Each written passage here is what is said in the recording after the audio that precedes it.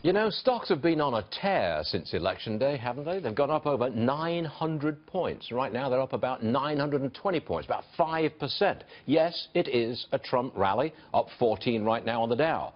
The price of oil sitting around $50 per barrel.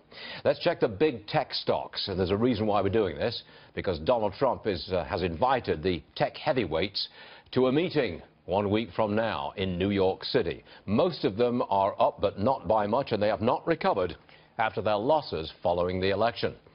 Capital, uh, who's with us here? Oh, it's the man himself. It is Shah Gilani. He's sitting right next to me. Capital Wave strategist Shah Gilani. All right.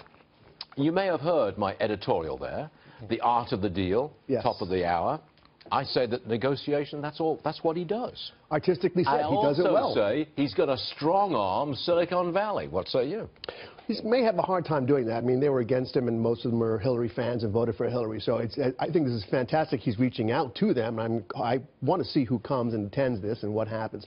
But I think what I like about this is he's reaching out. And he's not addressing a particular company. He's out addressing an entire industry, the tech industry. And I think that's very that's positive for the industry. It's positive for jobs in America. It's positive for bringing jobs back here. The writing's on the wall, isn't it? I mean, hey, Come on, guys. It's been on the wall. It's been on the wall since his campaign trail, and now he's he's a man of action. He's already taken action. He's already got results. So he's got, is, he's got leverage. He's got a great they, bully pulpit. He's got the ultimate bully pulpit, and he's bringing people together and creating action, actionable terms and conditions and possibilities, and the market loves it.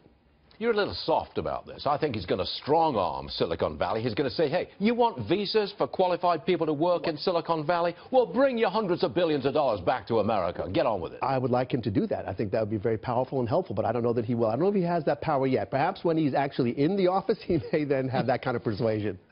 Oh, he'll have that kind of persuasion. I hope sure. so. I think he will. I approve. I like to see him lay the law down. All right, that's me.